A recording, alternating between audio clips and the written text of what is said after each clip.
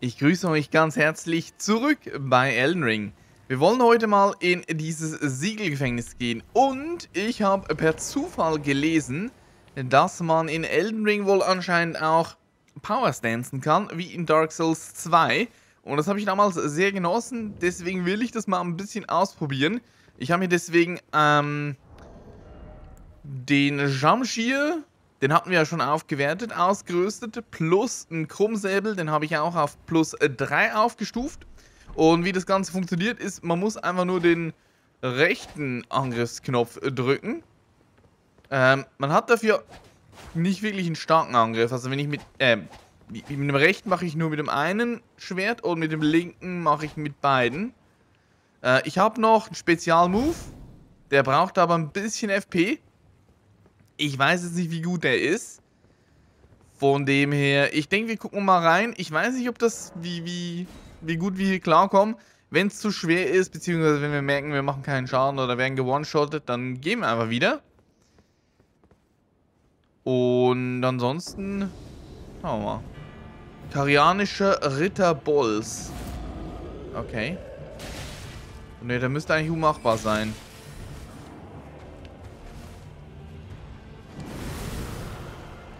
Haben wir schon mal so einen besiegt, ne?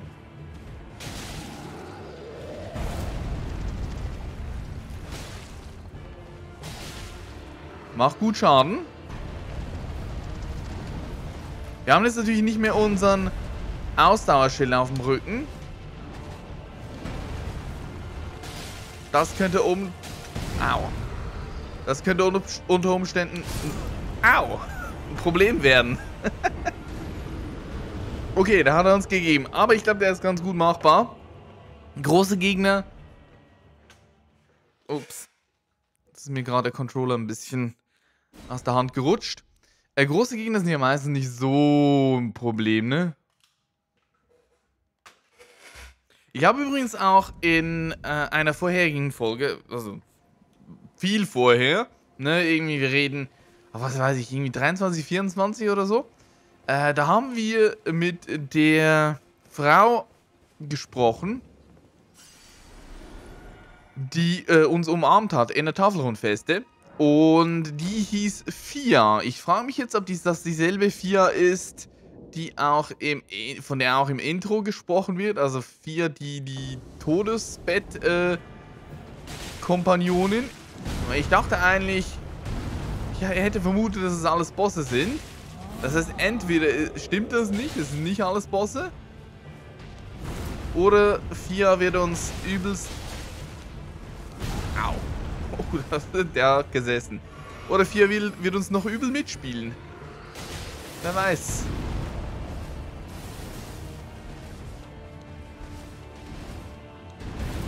Okay. Das war nicht sonderlich bedrohlich. So, jetzt können wir ein bisschen reinhauen. Oh, das macht gut. Autsch. Macht gut Schaden. Aber wir sind immer noch ein bisschen in Two-Shot-Range. So, ich mach mal den Spezialangriff gleich. Wenn ich dazu komme. Au. Ich hab das Timing nicht so drin. Ach, Mist. Und wieder tot. Zu greedy. Das Two-Shot-Ding ist immer noch der Fall. Vielleicht brauchen wir noch ein bisschen mehr AP. Nein, für den sicher nicht. Aber halt so generell, ne? Ich will irgendwann auch nochmal zurückgehen ins Grab eines Randvolkshelden. Denn, ähm, ja, da wurde mir auch von einem guten Oliver in den Kommentaren mitgeteilt, dass ich da noch ähm, nicht alles gesehen habe. Es gibt auch auf äh, der Bossliste, glaube ich, wenn ich das so richtig im Kopf habe, dann noch einen Boss. Ähm, aber da muss ich erst offscreen mal ein bisschen suchen, um zu sehen, wo wir denn... Wo es denn überhaupt noch weitergeht. Okay. Der Move ist mir immer ein bisschen suspekt. Ah, das war gut. Oder nicht? So, jetzt machen wir einen Spezial. Ja, der macht nicht wirklich viel mehr Schaden. Autsch.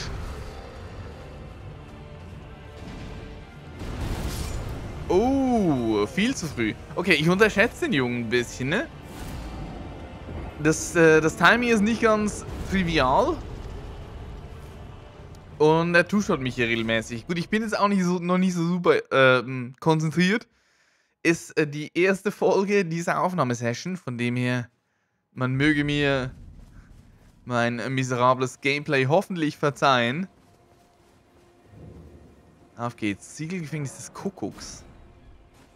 Ich hätte jetzt da irgendeinen so Zauberheini erwartet. Ich, gut, ich meine, er hat ein paar Zauber. Aber es ist nicht, ne? Nicht ein typischer Zauberer. Sagen wir es mal so. Ach, Mist. Ich bin zu greedy auch. Ich müsste den Saber runterspielen.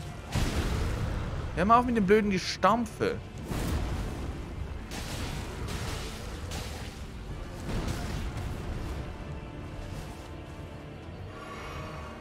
Na, was machen wir?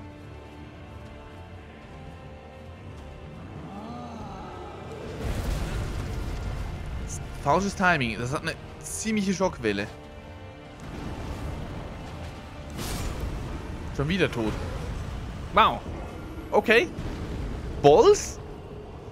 Der, ähm, der kann was. Ich weiß nicht, warum das... Manchmal habe ich das Gefühl, ich, ähm, mein Skill geht eher rückwärts als vorwärts. Aber ja. Sind vielleicht auch die neuen Waffen? Nein, ich, ich suche jetzt gerade Ausreden. Das ist einfach nur, keine Ahnung. Sollte, sollte kein Problem sein. Hätte eigentlich ein First Try werden müssen. Meiner Meinung nach. Aber gut. Es ist wie es ist. Oh, der ist, Der geht so schnell.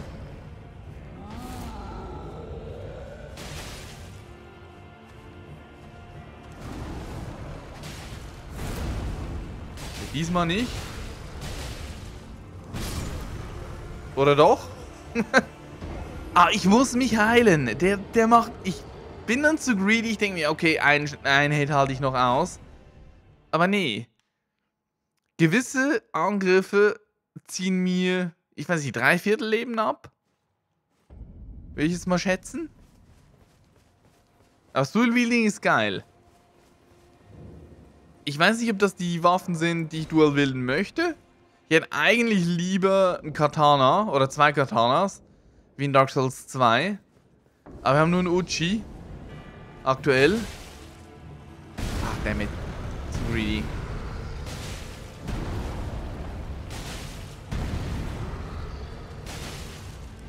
Einmal zuhauen. Okay. Autsch. Was machen wir?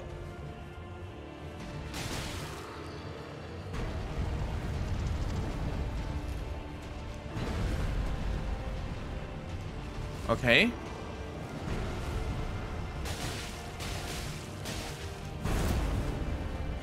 Diesmal hat das Timing gestimmt. Ah! Kann es sein, dass ich teilweise keine Ausdauer mehr habe? Ich muss mal darauf gucken.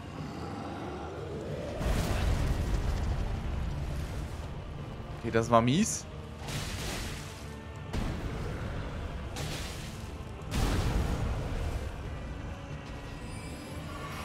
Okay, jetzt fängt er an zu zaubern.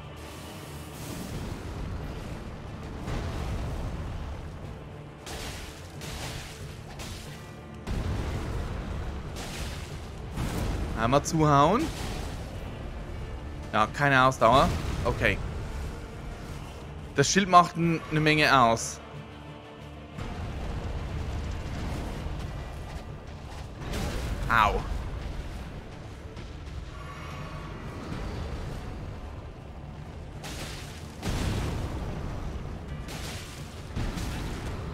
Früh. Vielleicht ist er schneller geworden. Oh, es fängt an zu zaubern.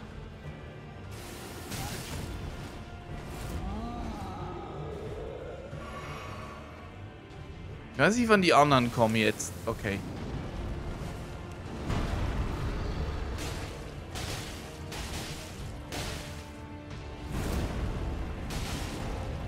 Okay, keine Ausdauer mehr.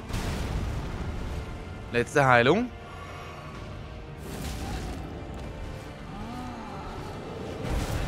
Autsch. Machen wir das Spezialding.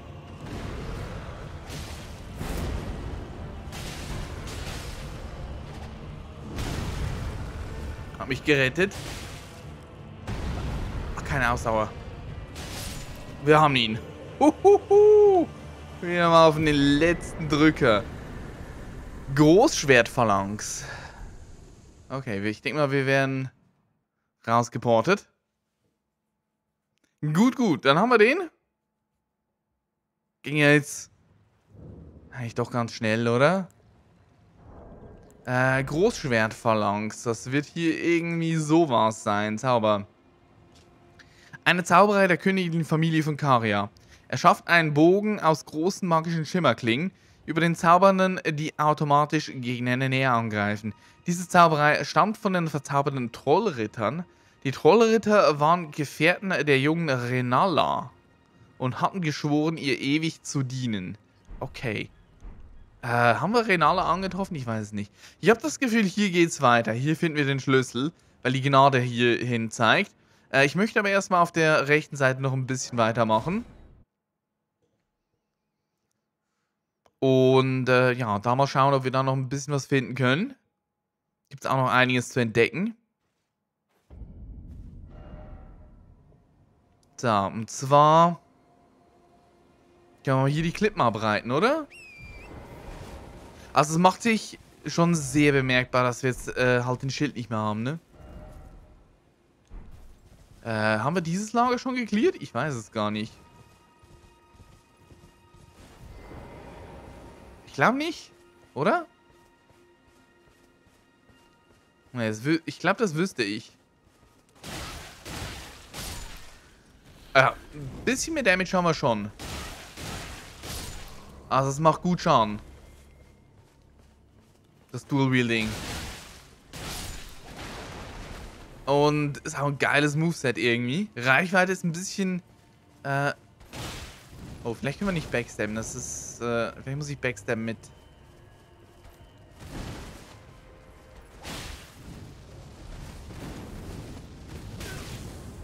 Vielleicht sollte ich das auch nicht gegen den ausprobieren. Oder doch?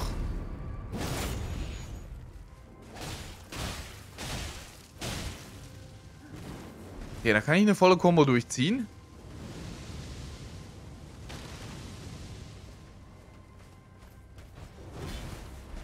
Ich glaube, in diesem Lager waren wir nicht, weil sonst würde hier kein Loot dann da liegen.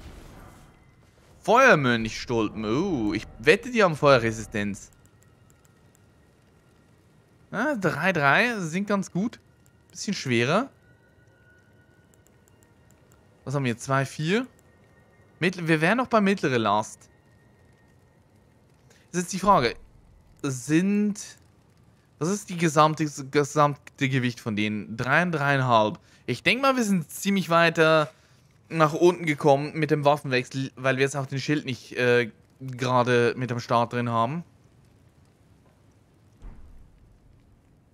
Hm. Deswegen, ich denke, wir sollten uns die anziehen. Ne, wir gucken mal, Feuerschaden, äh, Feuerresistenz 2. Stulten der verbannten Ritter, die haben voll 5,8. Die haben fast, die haben gleich viel wie die anderen, sie haben nur auf 3,9. Ich denke mal, das sind ganz gute, sind ganz, sind ganz gute Stulten. Nehmen wir. Hat sich gelohnt. Flamme, heile mich. Das ist eine... Hier irgendwas. Pyromantie. Lindert die Belastung durch Gift und Scharlachfäule und heilt diese Effekte. Braucht aber 12 Glaube. Okay, ist eher nichts für uns. Ha. Sowas wäre halt eigentlich schon cool, wenn wir irgendwie unsere Waffe verzaubern könnten. Aber 13 Glaube und 13 Weisheit zu skillen will ich dafür ehrlich gesagt nicht. Am Ende ist es Rotz. Dann, ja, ne? Bin ich, bin ich, bin ich traurig. Feuerresistenz, das können wir verwenden. Die Resistenzen können wir verwenden. Naja. Vielleicht finden wir später noch irgendwie was anderes. Feuerüberzug für die Waffe zum Beispiel. Hier ist auch nochmal einer. Aber hat nur Schmetterlinge, wobei acht Stück sind hier so wenig. Die braucht man, glaube ich, um Brandbomben herzustellen. Äh, gucken wir uns hier hinten noch kurz um. Können wir in die Zelte rein? Wir können hier rein. Da ist aber nichts. Guck mal, hier, das Ding ist so abgeschirmt. Da müsste eigentlich was drin sein, aber nope. Dann können wir noch auf den... Ich weiß nicht, ist das ein, ist das ein Obelisk? Wie nennt man diese Dinge?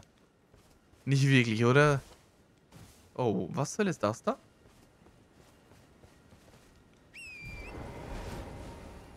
Äh, kommt mir das bekannt vor? Ich glaube, wir hatten so ein Ding schon mal. Da war doch einer hier drin, hinten drin, oder?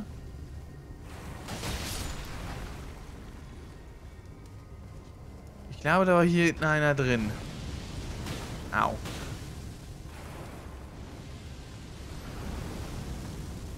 So. Hält ein bisschen was aus. Ja, die Ausdauerregeneration ist schon sehr stark verlangsamt. Ich weiß nicht, ob, ob mir das gefällt. Aber der Typ ist tot. Drei Feuerblüten. Okay. Der Obelisk oder was das auch immer das ist, ist, ähm... Oh, Schmetterlinge. Da ist nichts. Ich kann mal kurz gucken, wo wir auf der Map denn gerade sind. Weil das ist eigentlich eher Süden. Wir wollen tendenziell eher nach Norden. Beziehungsweise ich möchte hier die Klippen absuchen. Erstmal. Die Waffen sind cool. Das Einzige, was mich ein bisschen stört, ist natürlich die Ausdauerregeneration. Was wir eventuell machen könnten ist, ich weiß nicht, ob wir dieses Ding hier noch brauchen gerade.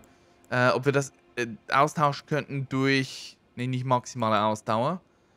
Das Ding hier, naja, sind wir bei großer Last. Geht nicht. Havelsring muss dranbleiben.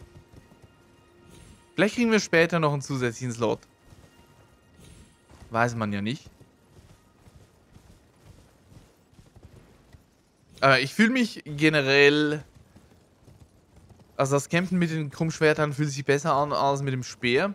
Schon alleine deswegen, weil ich halt auch niedrige Gegner wie Wölfe und so ein Zeug äh, treffe. Was soll was ist hier unten? Da hat irgendwas geglitzert.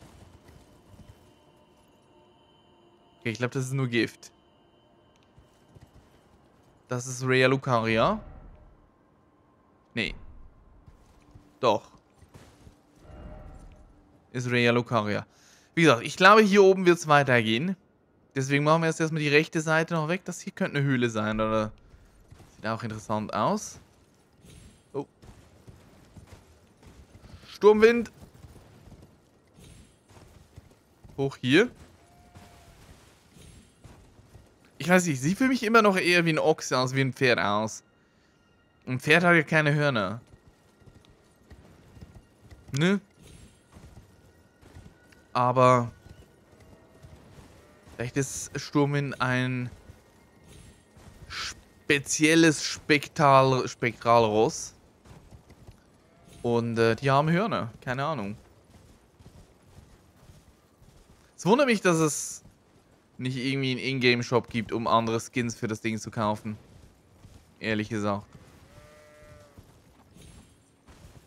Ich habe das Gefühl, damit könnten die Entwickler Geld machen. Das wundert mich, dass diese... Normalerweise sind die Publisher da relativ greedy bei sowas. Aber vielleicht hat FromSoft gesagt, nope, nicht mit uns.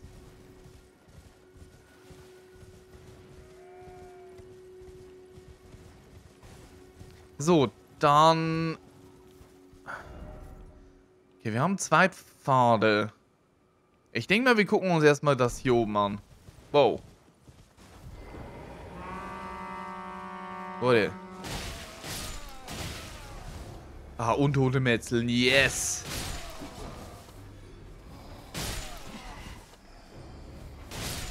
So, der ist auch platt. Okay, die nehmen alle gut Schaden. Droppen aber nur Mist. Gehen wir hier hoch. Da ist so eine Art, ich weiß nicht, ist es eine Kapelle? Das sieht wieder nach einer Kirche aus. Na, das von, was von einer Kirche übrig geblieben ist. Eine neue Gnade. Gehen wir kurz rein. Ich denke mal, wir werden gleich hier angezeigt bekommen, wie dieses Ding heißt. Kirche der Gelübde. Okay, was für ein Gelübde können wir hier an ablegen? Wer zur Hölle bist du? Du bist eine Schildkröte. Wow. Eine, so wie es aussieht, sehr religiöse Schildkröte. Ähm, was ist das hier? Büßen. Okay. Darf ich an die Kiste? Wir reden erstmal mit der Schildkröte, damit wir wissen, was es mit dieser Kirche auf sich hat. You're tarnished, aren't you? I welcome you to the Church of Vows. I am Muriel, steward of this sacred chamber. My apologies for the unseemly state of affairs. Do you know the origin of this place? How it came to be known as the Church of Vows? Ich weiß es nicht. Well, that is a shame. But who can blame you? The shattering has caused us, all of us, to lose sight of something very dear.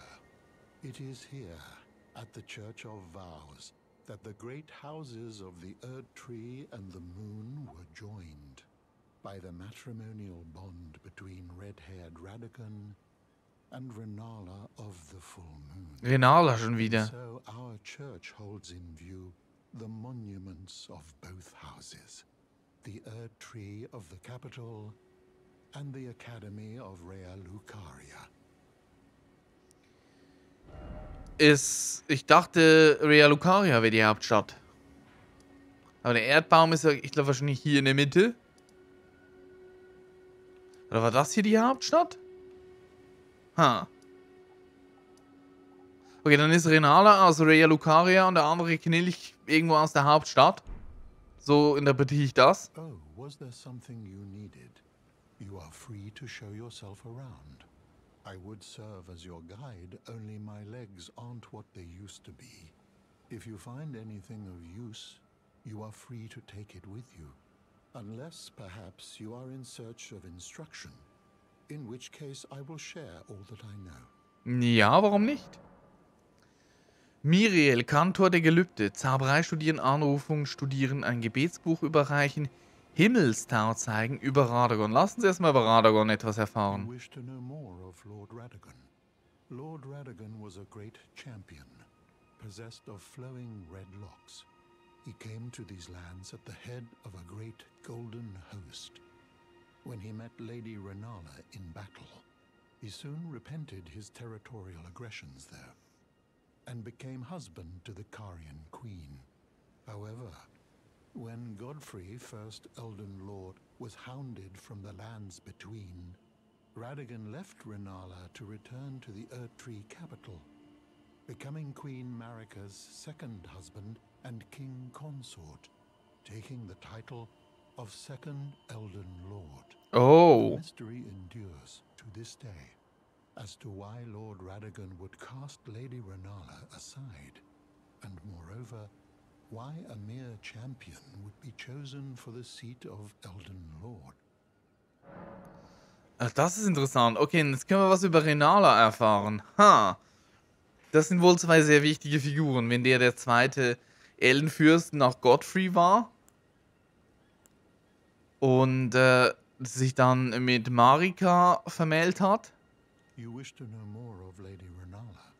She is Queen, head of the Carian royal family, and governor of the Academy of Rea Lucaria, the great and beautiful full moon witch. Sadly, her heart was broken when Lord Radigan left her. And then, when the Academy rebelled against the Royals, she was locked away in the Grand Library. Oh, lass mich raten, das wird ein Boss sein. Die äh, wird Liebes... Die, der Herz wurde... Deren Herz wurde durch die Liebe zerrissen. Und jetzt ähm, schwelt sie in Rache und Sehnsucht gleichzeitig. Irgend sowas. Und äh, ich vermute mal, die wird nicht so gut zu sprechen sein. Es hört sich so an, als hätte die nicht mit äh, ja, dem Typen abgeschlossen. In the end, Lady Renala was left alone, cradling the amber egg Lord Radigan bequeathed her. Now she devotes herself to it through forbidden rite, Ja. the grim art of reincarnation. You would do well to remember, severing a vow, strongest of bonds, has consequences ever more dire. Okay, wir können auch noch mehr über Radagon erfahren. You know, it's said that Lord Radigan harbored a secret. A famed sculptor of the Erdtree capital was once summoned to render Lord Radigan's likeness in giant stature when he glimpsed the skeleton in Radigan's closet. And as such, it's said the great statue harbors his secret too. Okay, du hast noch mehr. You know, it's said that Lord Radigan harbored a secret. A famed sculptor Ah, nee, when it- he glimpsed the skeleton in Radigan's closet. And as such, it's said the great statue harbors his secret. Es ist interessant, dass wir das, äh, dass dieses, das, die Option jetzt nicht weggeht, was ja bei Renala der Fall war.